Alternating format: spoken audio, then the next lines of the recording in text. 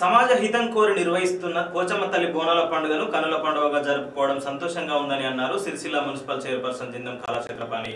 ఈ రోజు సిరిసిల్ల మున్సిపల్ మూడవ వార్డులో కోచమ్మ బోనాల పండుగ అంగరంగ వైభవంగా నిర్వహించారు. కార్యక్రమానికి ముఖ్య అతిథిగా బీఆర్ఎస్ పార్టీ రాష్ట్ర నాయకులు చీటి నరసింహరావు హాజరయ్యారు. వేడుకల్లో ప్రజాప్రతినిధులు మాజీ ప్రజాప్రతినిధులు బీఆర్ఎస్ పార్టీ నాయకులు విద్యానగర్ గీతానగర్ అభివృద్ధి సంఘాల అధ్యక్ష కార్యవర్గ సభ్యులు విద్యానగర్ డెవలప్మెంట్ కమిటీ అధ్యక్ష కార్యవర్గ సభ్యులు వార్డు పెద్దలు స్థానికులు పాల్గొన్నారు. Thank you.